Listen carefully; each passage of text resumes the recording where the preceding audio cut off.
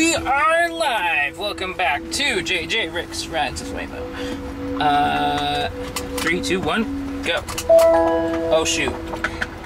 Heading to There 7158 East 5th Avenue. Please make sure your seatbelt is fastened.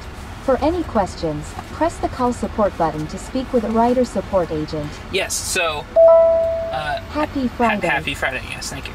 Uh, yes, we're starting at the Costco, and that car had a 30-minute wait time. That is, I have just been sitting there for 30 minutes. It is nice to see Waymo getting actual use, but it is annoying to compete with everybody for cars sometimes. So, yeah, you know, that's how it goes. Uh, hopefully, hopefully SF tomorrow is. I honestly have no idea, but uh, I hope it's really packed with Waymos so you can uh, get quick rides. I don't know. A little bit of interesting path planning there. Um, just you know, escape from the Costco essentially is na- the name of the game here. Uh,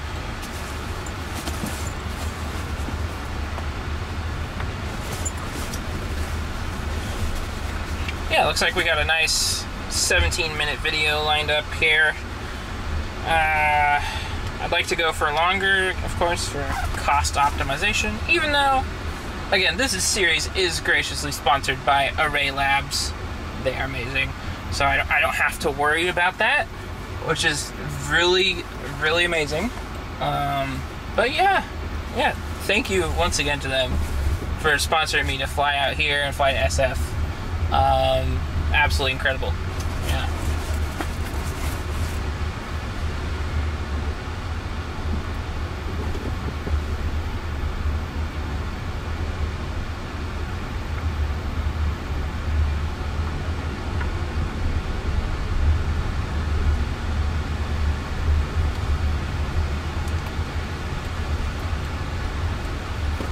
Looks like we've done it. All right. And uh, I have absolutely eviscerated the battery of my phone today uh, from all the live streaming and stuff. So I'm trying to charge in the back here. Gonna, my cable's kind of broken. Uh oh. I'll deal with that. In the meantime, we are making it out onto the main road here. Um, see here. GoPro battery 64%. You got, I got another 40 minutes into it, uh, I suppose. So.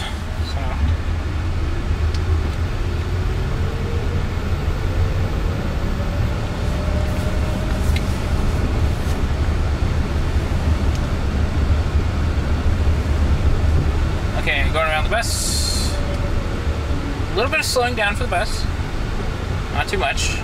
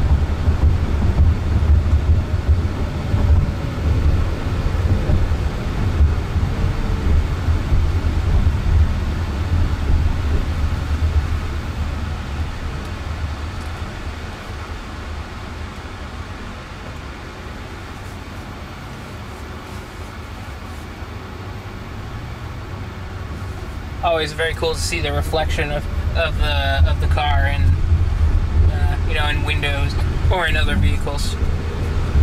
Just remind you what riding in style. Love the style. Oh man, love this. This is such a thing now. It is in such a short time. It has become a thing. It is amazing. Um,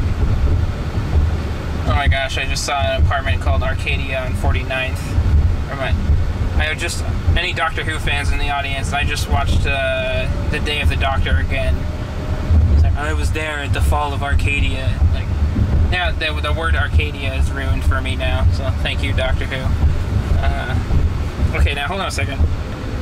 Okay, I, it was a little bit chilly in here, so I was wondering if the temperature of the thermostat sinks between, like, sinks to your rider account, because that would be legendary attention to detail. But I don't think that's I don't think that happened here, because it says it says that.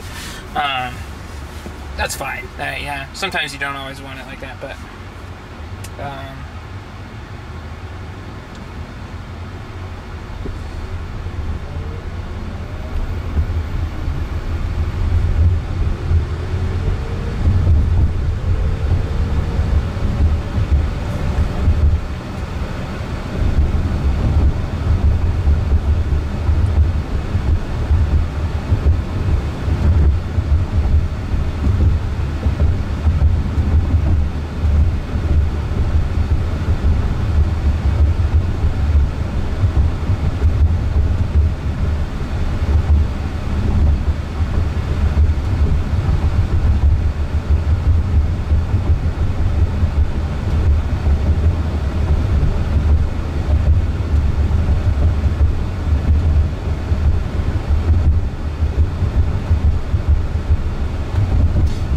silence here. I'm uh, replying to emails in the back seat. Uh, but sometimes uh, Arcadia again. Oh my gosh.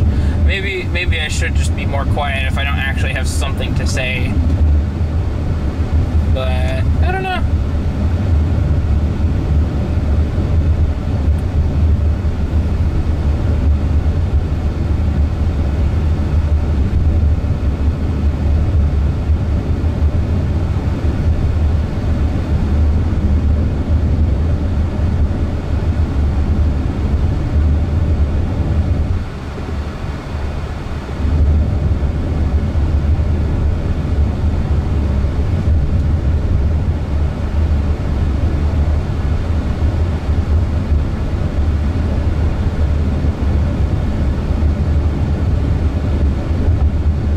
I'm getting so many. Uh, so many messages right now. Whew.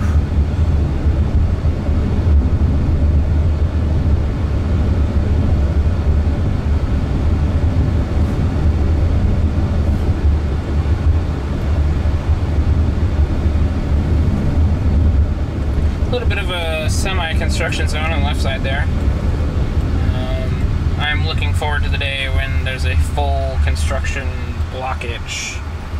Uh, I would imagine that Waymo goes out of the way to avoid those, so it'd be tough, but.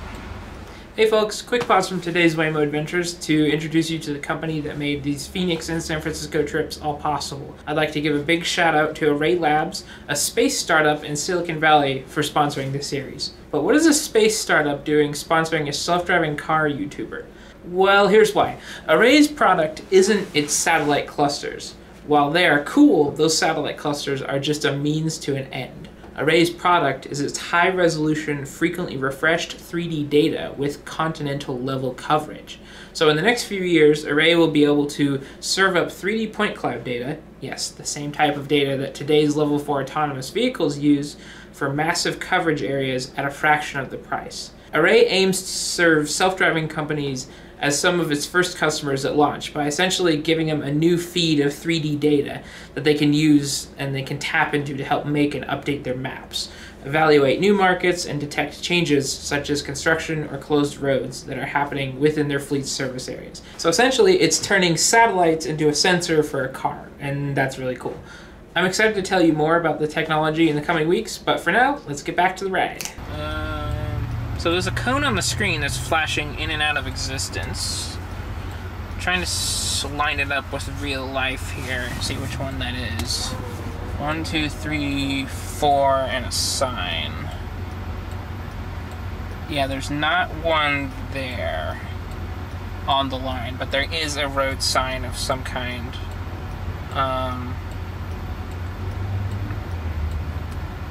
still, those cones are behind a barrier and are like, you know, have caution tape on them, and you can only kind of see the. I don't know. I'm just impressed that it could not only pinpoint those, like, but also you know take them into account and all that. That is just absolutely wild. The computer vision boggles my mind. I'll just say it. Um, oh, two light cycles. Come on. oh, green. Yes. Okay. All right. That was that was a weird intersection. Um, goodness gracious. Let's put like a two-minute light countdown timer on the screen there. I don't. I don't know. If we ever get a, a red light longer than five minutes, I'll have to go remake the graphic for the countdown timer. Thankfully, I don't think we've seen that. Because, fun fact, the yeah, the red light countdown timer uh, graphic made in After Effects is only five minutes long, which you know should be fine in 99.99% of cases, but. I don't know. Does anyone actually use those? Do, you skip forward in the video if there's a red light? I don't know. Let me know. It's kind of. I mean, I hope it's helpful. Um, but yeah. Anyway. So. Okay, coming up on the right turn at a high rate of speed. Let's go. Uh, okay, slowing down to reasonable levels. Th- I swear this never gets old. I don't even care. It's so much fun. Um, oh, for Luke, the battery range is 90 miles. So there you go. Um,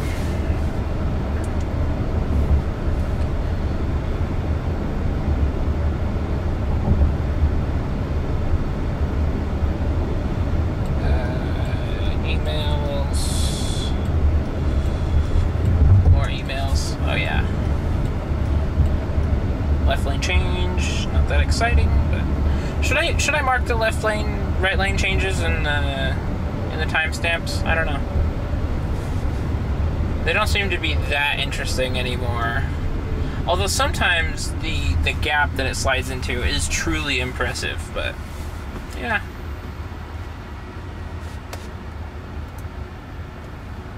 Welcome to Scottsdale. I don't know when we technically entered the uh, city limits, but. Huh, yeah.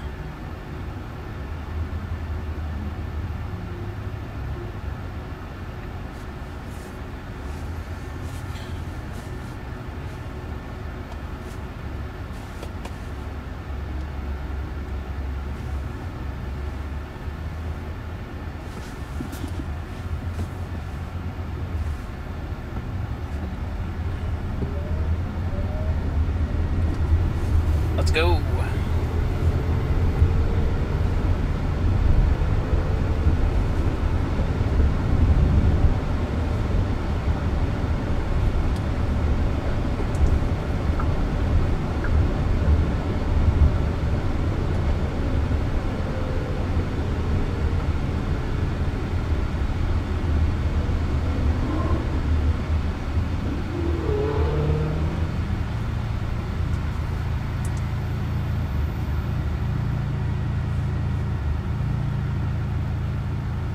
So it looks like we are headed right into the middle of Old Town Scottsdale. If uh, if my map reading skills are up to par, up to snuff. Uh,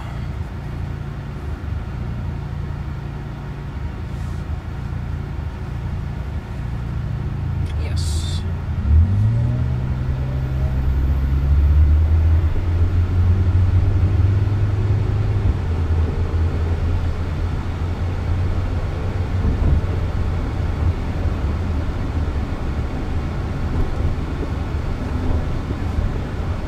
Two minutes. Scottsdale Road, okay. Any Phoenix local will know the uh, Shane Co. uh, Almost there. Don't forget your belongings. commercial radio commercial where they say the cross streets. Apparently, there's a whole bunch of local versions of that. It hasn't been on uh, that those that run of commercials hasn't been on the radio for a while. But uh, they don't yeah, they don't say the cross streets anymore. They just tell you the website, which is like lame. Come on.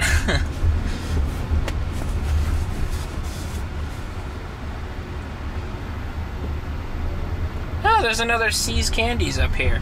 Uh, last time we went to See's Candies in a in a Waymo video was when I got my new camera for the first time. The, the same camera that's recording the screen now is the one that was I was using as the main recording camera then. Um, that, that's a throwback. Oh yeah, this is nice and uh, okay. What are we doing here? Our, I thought we were gonna use a parking spot. okay. Uh, are we gonna? Uh oh. You're here. Please make Oh, sure it's okay. clear before exiting. That's fine. All right. Well, thank you so much again for joining me, and thank you to Array Labs for sponsoring this series. Really, really appreciate it. Um, and I will see you next time.